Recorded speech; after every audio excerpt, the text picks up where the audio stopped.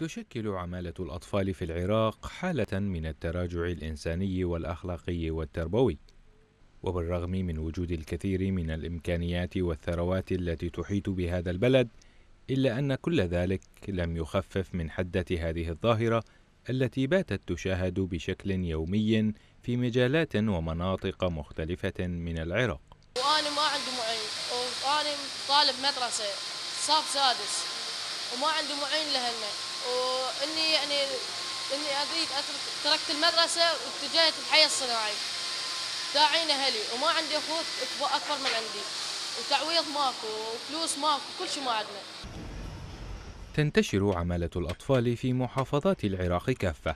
وتنقسم ضمن مجالات وأشكال مختلفة بدءا بمكبات النفايات التي يتوجه إليها الكثير من الأطفال بحثا عن القطع المستهلكة من أجل إعادة تصنيعها وليس انتهاء بالورش الصناعية التي تفتقد إلى الدور الرقابي من قبل الجهات الحكومية المعنية بظاهرة عمل الأطفال. أه، جيت عفت مدرستي وجيت أشتغل بحي الصناعي ويا استاذي أنا مود أساعد اهلنا أنا مود أساعد اهلنا إحنا حالتنا إحنا فقيرين وحالتنا تعبانة. من رجعنا لقيتنا بيتنا واقع. يعني شلون إحنا؟ خو ما نخلي النسوان تشتغل. طبعا إحنا الأطفال نطلع نشتغل. هدنا يعني ما يقدرون أبويا تعبان حيل.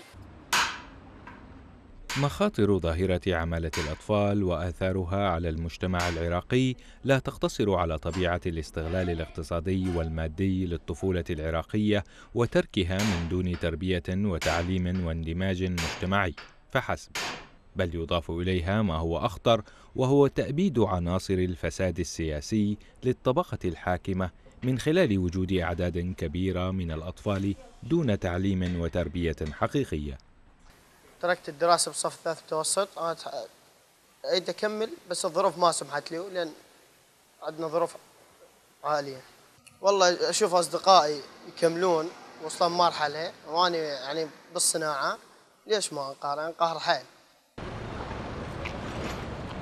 مراقبون يرون أنه يمكن الحد من الظاهرة بتشريع قوانين جديدة تحمي الطفولة في العراق من الاستغلال. وتفعيل قوانين محاسبة الأسر التي تقوم بتشغيل أطفالها. وإشراك وزارة التربية ضمن أدوار أساسية تشمل التوعية والمتابعة بالنسبة للأهالي والأطفال الذين يتركون الدراسة.